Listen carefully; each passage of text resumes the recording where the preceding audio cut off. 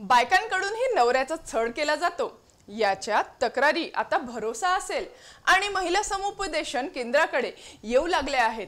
पुरुष छळ करतो असे नाही तर महिलाही छळ करीत असल्याचा तक्रारी समोर आल्या आहे गोंदिया जिल्ह्यात दहा वर्षात तब्बल पाचशे चौऱ्याऐंशी पुरुषांच्या बायकोकडून छळ करण्यात आल्याच्या तक्रारी भरोसा असेल आणि महिला समुपदेशन केंद्राकडे आल्या आहेत. तर आता महिला आयोगाप्रमाणे पुरुष आयोग तयार करण्याची मागणी होत आहे. पाहूया एक स्पेशल रिपोर्ट कौटुंबिक कारणातून पती अथवा त्यांच्या कुटुंबियांकडून पत्नीचा छळ होत असल्याचे अनेक प्रकार आजपर्यंत उघडकीस आले आहे परंतु आता पुरुषांच्याही छळ झाल्याच्या तक्रारी पुढे आल्या आहेत. मागील दहा वर्षात गोंदिया जिल्ह्यातील पाचशे चौऱ्याऐंशी पुरुषांनी आपल्या पत्नीकडून छळ झाल्याची तक्रार भरोसा सेल आणि महिला समुपदेशन केंद्राकडे केली आहे. भरोसा सेल व महिला समुपदेशन केंद्राकडे अशा दाम्पत्याचे समुपदेशन करण्यात येत आहे. देशात कोरोनाचे संकट असताना या काळात कुटुंबे एकत्रित आली. लैंगिक समानता मांडणाऱ्या देशात केवळ स्त्रियांवरच कौटुंबिक अत्याचार होत असल्याच्या अनेकांना गैरसमज आहे. परंतु कोरोनाच्या काळात एकत्र राहत असलेल्या दाम्पत्यांना अधिक वेळ मिळाल्याने त्या वेळात त्यांनी एकमेकांच्या खोड्या काढण्यात जास्त वेळ घालवला. त्यामुळे दोघांमध्ये भांडणे निर्माण झाली. भरोसा सेलमध्ये मागील पाच पाच वर्षामध्ये आपल्याकडे जवळपास एकशे ब्याण्णव तक्रारी आलेल्या आहेत पुरुषांच्या. पुरुषांच्या तक्रारी का प्राप्त होतात? त्यामध्ये आता सध्या प्रायव्हेट सेक्टरला जास्तीत जास्त पुरुष काम करतात. ते दिवसभर त्यांना बाहेर राहावं लागतं. आणि ते कामामध्ये व्यस्त असल्यामुळे ते आपल्या पत्नीला कॉल करू शकत नाही. एक एकदा कॉल करून विचारू पण शकत नाही. त्याच्यामुळे मग पत्नी त्यांना दिवसातून बारा ते अठरांदा कॉल करते. आणि जर प- पतीने कॉल रिसिव्ह केला नाही तर मग परत ती शक करणं चालू करते की पतीने माझा कॉल रिसिव्ह का केला नाही? कुठे त्याचं बाहेर अफेअर तर नसेल.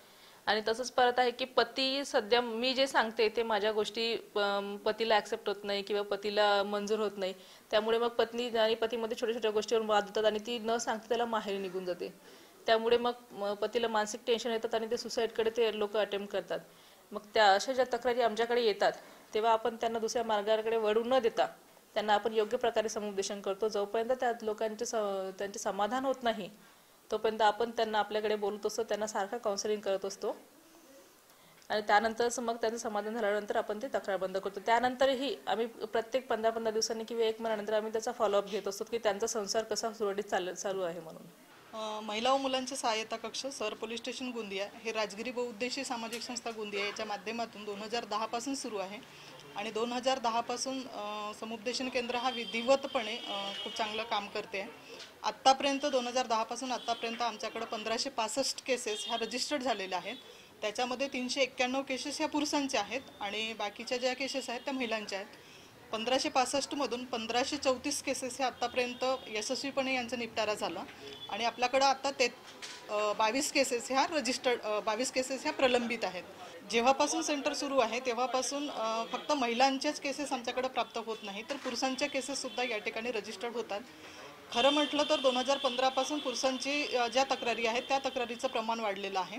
आणि कोरोना काळामध्ये म्हणजे दोन हजार वीसपासून जेव्हापासून कोरोना लागला त्या कोरोना काळामध्ये प्रायव्हेट सेक्टरमध्ये काम करणारे जे पुरुष होते ते पुरुष आत्ता घरी राहायला लागले. आणि त्याच्यामुळं चोवीस तास महिला आणि पुरुष या दोन्ही सोबत राहत असल्यामुळे पैशावरून आणि विवाहबाह्य संबंध त्याचप्रमाणे मोबाईलचा वाढता वापर या अनुषंगानं आत्ता महिलांवर जसे अत्याचार व्हायला होत होते त्याचप्रमाणे आता पुरुषांवर सुद्धा त्यांच्या महिला ह्या अत्याचार करायला लागल्या हे चित्र आता पुढे आलेलं आहे. याचं महत्त्वाचं कारण म्हणजे एकतर विवाहबाह्य संबंध आणि मोबाईलचा अतिवापर हे दोन कारणं खूप जास्त प्रमाणामध्ये दिसायला लागलं आणि त्याचबरोबर नवरा हा कमवत नाही त्याचं पण दुसरं एक कारण आम्हाला या ठिकाणी लक्षात आलं. परिणामी कोरोनानंतरच्या काळातही ह्या तक्रारी जास्त आल्या आहेत. लॉकडाऊनमुळे कुटुंब एकत्रित आली. एकमेकांसोबत राहताना पती पत्नीत खटके उडत होते. दहा महिन्यापासून अशीच स्थिती असल्याने पती पत्नीतील वाद चव्हाट्यावर आलेत.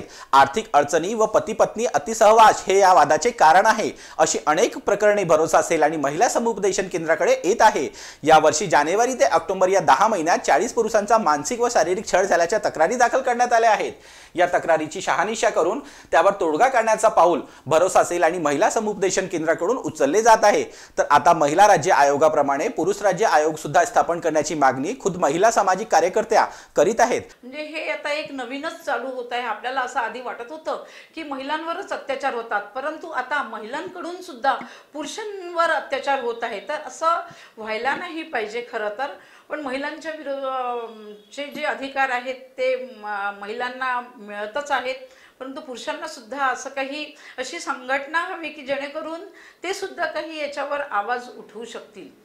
त्यांनी आजच्या सरकारला माझी अशी विनंती आहे की जसं महिला राज्य आयोग आहे तसंच पुरुषांसाठी सुद्धा एक पुरुष आयोगाची स्थापना करायला हवी जेणेकरून ह्या जे पुरुषांवर महिलांकडून जे अत्याचार होतात ते होणार नाहीत.